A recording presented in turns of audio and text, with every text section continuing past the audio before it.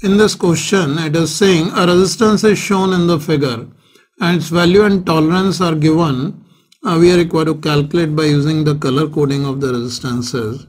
So let us once again see the bands on the resistance. The first band is a red band for which the color code we consider as 2 we already studied. The second one is violet for which the code is 7 the third is orange. For orange color code is 3. And the last one which is corresponding to tolerance, this is silver which is corresponding to a tolerance of 10% and here uh, value of resistance we can write 27 into 10 to power 3 plus minus of 10% in ohm that's the resistance so we can see this 27 kilo ohms so here we can see 27 kilo ohms with a 10% tolerance. So your answer to this question will choose as option D.